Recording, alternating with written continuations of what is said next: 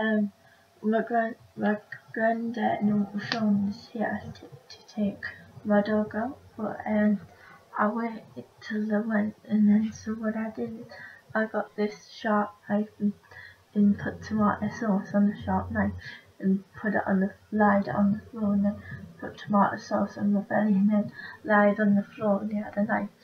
And then I said I shouted to my parents help and then um, they came in and then the scene is dead on the floor but they knew it was just a joke because I'm always doing pranks and that. So um, they were laughing and then my mum and dad stole like both my grandmas and granddad and my uncle and my uncle um, and thought it was funny.